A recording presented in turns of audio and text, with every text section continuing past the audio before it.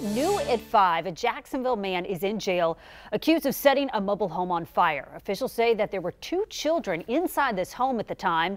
Julien Claflin is now charged with arson and child neglect.